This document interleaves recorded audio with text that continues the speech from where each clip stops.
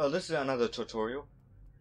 Uh, I'm not the greatest player. I used to be uh, with the three, uh, three KDR, right? Three KDR with the uh, at least, I would say, uh, 800 score per minute, which really shows your uh, activity, yeah, how active you are in the uh, in the game.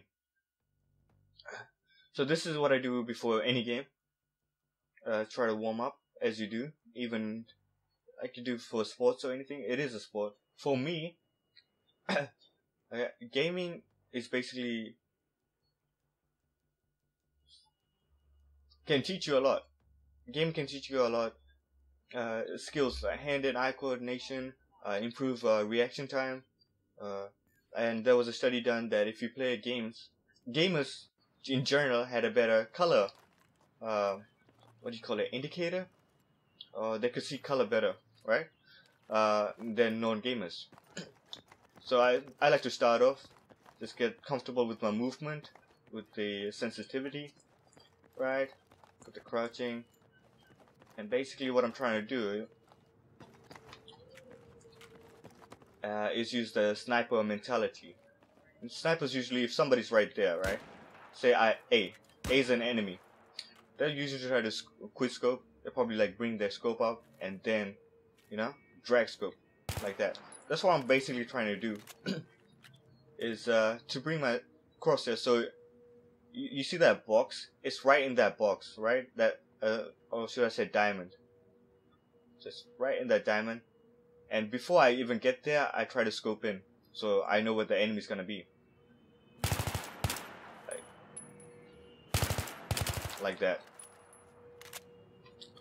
And basically, and uh,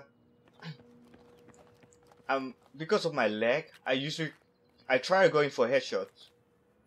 Uh, for headshot, what you want to do is, you know, first measure where your headshot is, because all the characters are basically the same height. So that's basically gonna be chest. Head's gonna be here, right? That's gonna be chest. because the FPS game, they all have their head glitch, where you basically, you know, this is your basically your head, your gun. The camera view is from your gun, not from your head. So that's gonna be head. So I always try to, I never try to go into corridors like this, right? And then switch to the headshot and then hopefully get the guy. I would rather be you know, at the headshot. So if somebody's coming right there, then I can just go bam, bam, bam, bam. You know, get that perfect headshot. And recently I've been trying to peek corners before I actually go through them. Like a Dalmas, I will just go through. Like previously that was my game and I would get shot up. Right? Now I try to be a little bit cautious. Just first get the headshot, right? I, I just estimate, predict where the head's gonna be. So it's gonna be right right here at that level. So I try to maneuvering somebody's there. you know just pop them right in the corner or just predict uh like chess take out the factors out right like the enemies if it's a good player and they're camping right you're trying to get here and they have their objective they're basically gonna be over here alright looking out they're gonna be like this crawled up trying to have a look or they're gonna be basically expecting you to come around the corner and try to do the same thing. so, uh, and if you're lucky, you just have some dumbass player, like I said before, running like this. And it's easy picking because by the time you come around that corner and he's like this, it takes a millisecond for him to get his sight on it, try shooting, or he can just go like this and, and try doing that. But if you're already expecting, always expect a 300 pound uh, guy with a rusty knife, like, uh, like the chainsaw, uh, with the chainsaw guy from Resident Evil 4. That you hear that chainsaw and you just run, right? So expect that the worst, hideous creature you can imagine at every turn, right? So just just have a visual where the enemy is gonna most likely be. If if you're playing Rush, most likely they're gonna be here. Not most likely there. Yeah. So you want to do that in one one sweeping motion. You know, check, check, check. Don't even aim in. Just have a quick look. That's gonna work on your reaction time. You know, just have a quick look, and then just pop. Always keep the reticle at head level so you can get the easy, not the head level because if I don't control the recoil, it just climbs out. So if you keep it on the chest, that's three bullets. That's like 25 each. You need four bullets, right, to get get a guy down. And if you're lagging, depends on what your ping is. My theory is if if it's a four bar, right? If it's meant to be a five bar, but you have a four bar, it's gonna take at least an uh, extra bullet. If it's a three bar, uh, two extra bullets, and if you uh, if you're below three bars, don't don't even go in that server because you're gonna get shot in the corner. Like you be like this, but to his server, you're you're staring at him to his server. So even though you're behind the wall, you're still gonna get damaged. So don't even bother. Three bars my limit. They see. But also also have that muscle memory uh, for your gun, right? So if you're used to a gun, just see if I don't uh, control the recoil. Just see what the tendency is. So it's like a, a right upwards recoil. So what you're just gonna do is before you start shooting, you just have that muscle memory in your thumbs and just predict it. Just predict.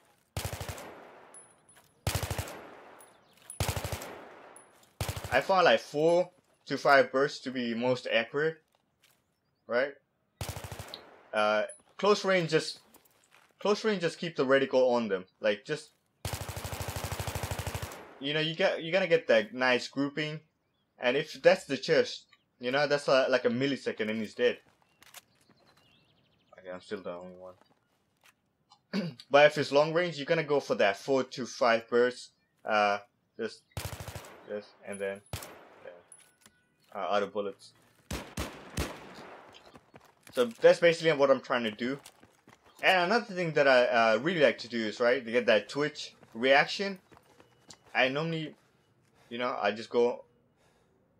The most hardest thing for gamers, for consoles anyway, is getting that circle, right? That circle kind of movement, that curvy. Because you can get that a linear motion, you know, that X. That's simple. But what if you have a a jumping bunny you you have to practice you know spinning your reticle quick enough quick enough so what I like to do is get to uh, like a circular object just follow follow through it with my uh, while aiming down sight just follow through it. And predict where the curvature is gonna be. And each time you make a round just get uh, get quicker and quicker. That was nice that was nice. Keep it tight though. And then try without aiming down sights.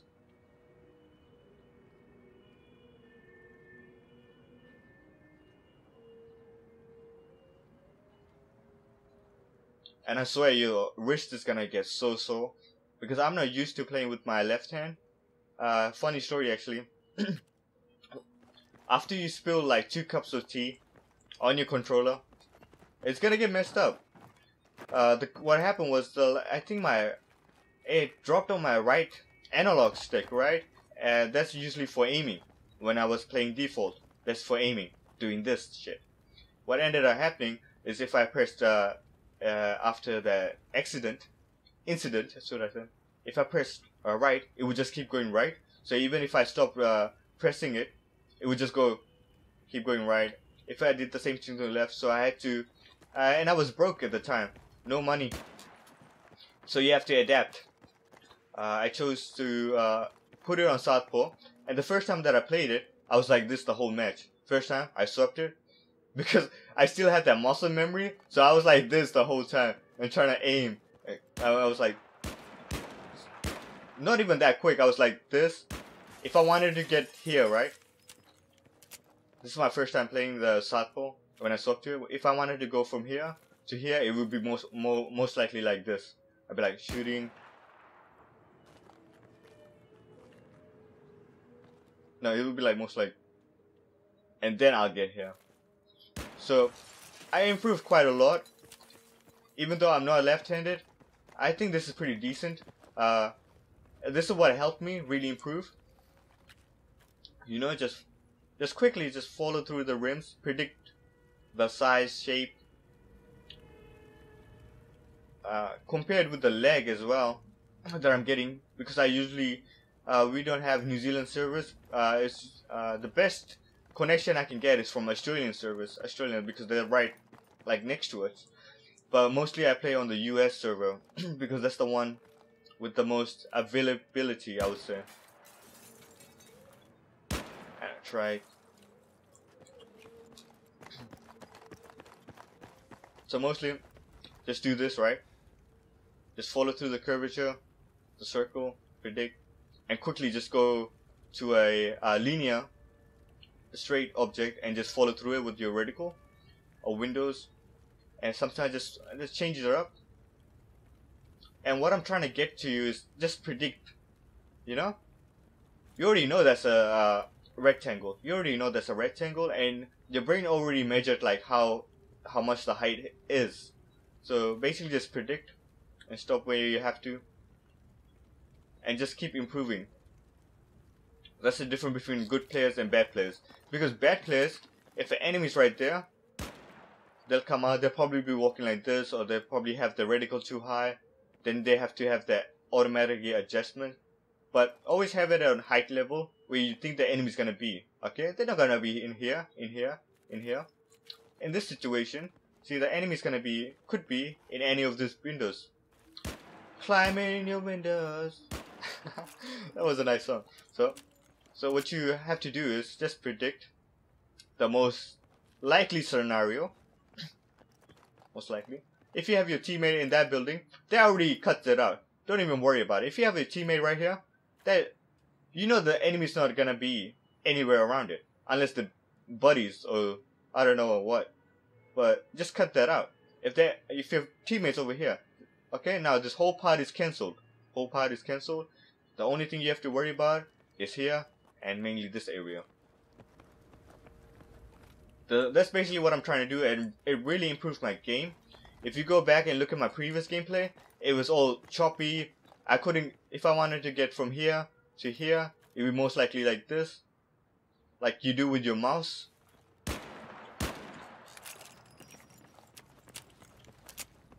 And have a decent uh, sensitivity. So that was that was my tips, guys. Southpaw Gaming. Uh, and if you like this commentary, please give it a please subscribe to my channel. Don't even bother with anything. Just subscribe to my channel and leave a comment. Like that's all I want.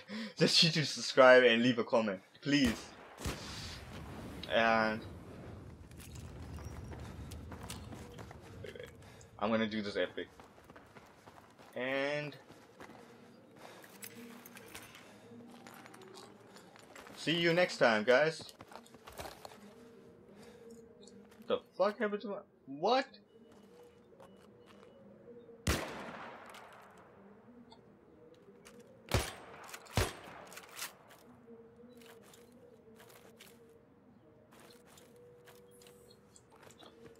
And I try doing this a lot.